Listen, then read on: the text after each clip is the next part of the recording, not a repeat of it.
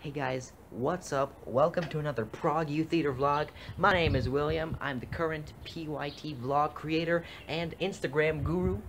Check out our Instagram account, uh, Prague Youth Theater on Instagram. Um, now, because PYT is so international and multicultural, we have people of all different backgrounds attending the sessions.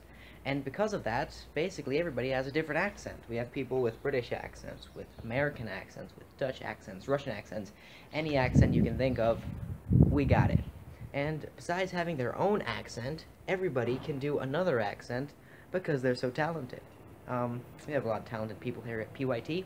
So, with that, let us take a look at the accents of PYT.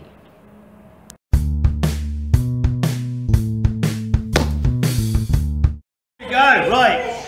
Wait a second. So first you say, don't say your name, you say your accent, and then you say the accent you're going to do. Okay, go. I normally have an English accent, but now I'm going to speak with an Irish accent.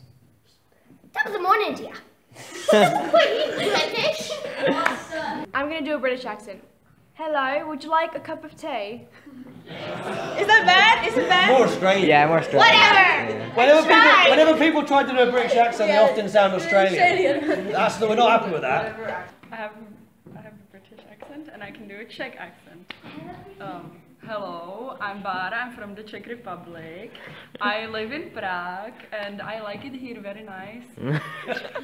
That is amazing. Make it even nice. Hello, I'm doing a British accent, but I'm actually going to be doing a French accent. Hello, I like uh, how you say uh, garlic and uh, baguette. uh. That's very good. I can't do accents. You guys are much better accents. Try an American. You were in the U.S. for four weeks. I'll have a coffee. That's not. That's offensive. Can I have a cup of coffee? That's offensive. That's rude. To New Yorkers, can I have a cup of coffee? That's as fun as I can do. Right. Okay, guys, that was the vlog.